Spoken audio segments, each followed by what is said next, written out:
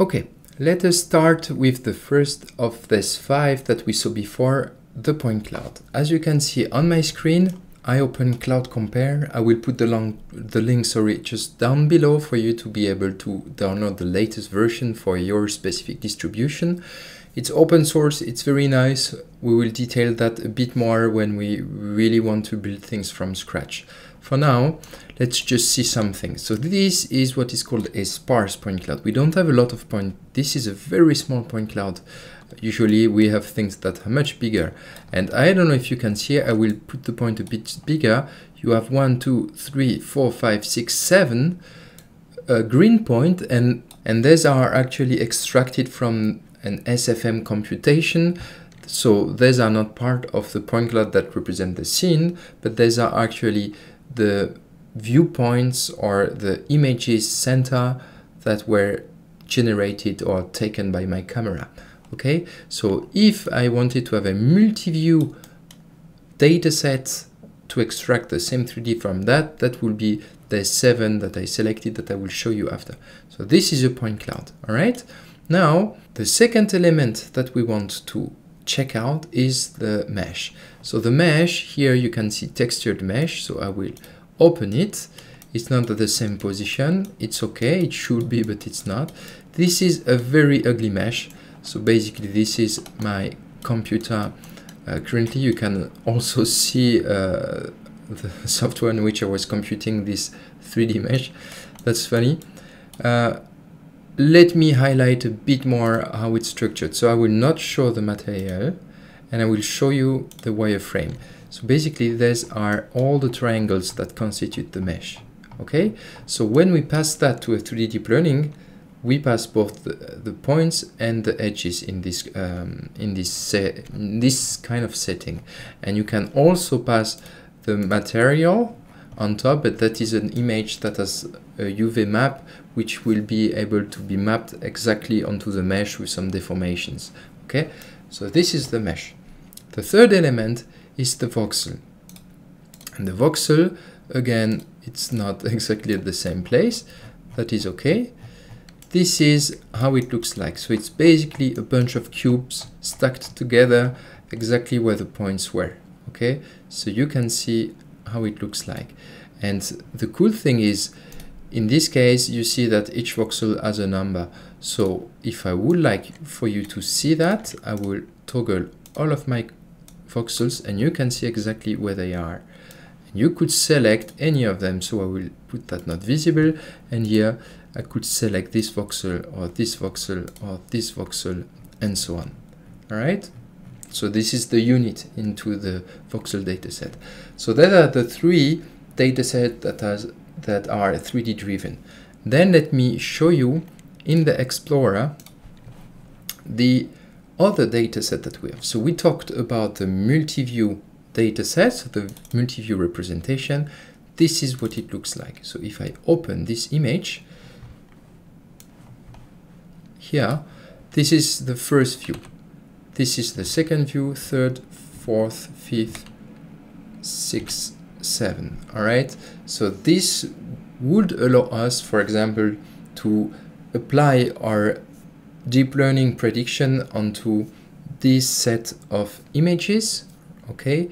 And then try to find the correspondence onto the three uh, third dimension.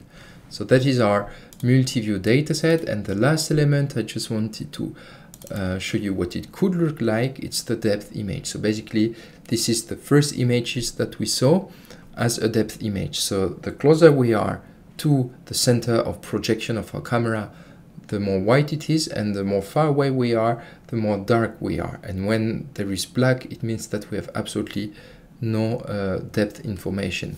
And then, depending exactly, we can take each pixel, and each pixel will have this depth information, right? So as you can see.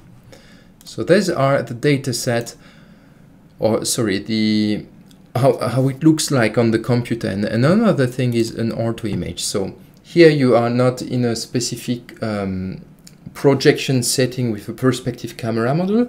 You will have really, for example, this is a top-down view where we have a perfect mapping between pixels and a specific pixel size that we give to uh, each of our unit into our image. And that's what it looks like. So as you can see okay here the pixel size I think I put it to 20 centimeter or maybe different but the, the scene is not scaled. I didn't put any reference target.